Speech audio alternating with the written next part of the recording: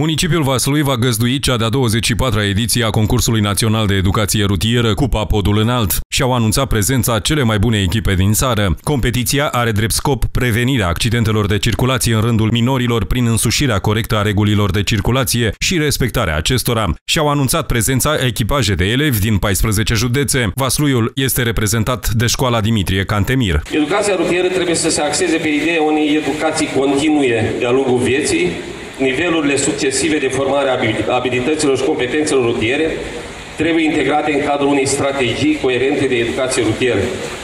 Educația ar trebui să înceapă de, din uh, perioada preșcolară, să continue cu ciclul, ciclul de primar, gimnazial și liceal, și ulterior să se realizeze prin campanii de informare și educare a tuturor categoriilor de vârstă. În cadrul echipajelor se găsesc copii care au făcut parte din echipa României, participanți la faza internațională din Cehia și la competiția din această vară din Bulgaria. Astfel, competiția se anunță a fi una extrem de disputată. Deși constatăm că în ultima perioadă de timp uh, această activitate de educație rutieră a fost practic abandonată, pot spune cu mândrie că la nivelul municipiului Vaslui astfel de activități se desfășoară într-un mod profesionist.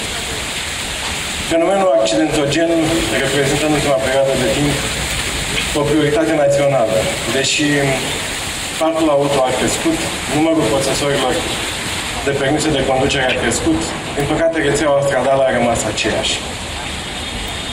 De aceea, educația rutieră reprezintă un prim pas în reducerea numărului de accidente rutiere. Implicarea unor parteneri cu atribuții în educarea rutieră a elevilor au făcut ca acțiunea să fie cuprinsă din 2007 în calendarul proiectelor educative școlare și extrașcolare al Ministerului Educației. Vă doresc uh, succes în uh, aceste zile la competiție.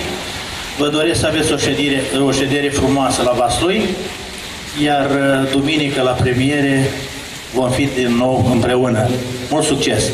Datorită rezultatelor obținute de elevii școlii în concursurile interjudețene și naționale în toamna anului 2012, Ministerul a hotărât nominalizarea școlii Dimitrie Cantemir Vaslui ca unitate pilot pentru educația rutieră în rândul elevilor, organizând acțiuni de educație rutieră a elevilor și de formare metodică.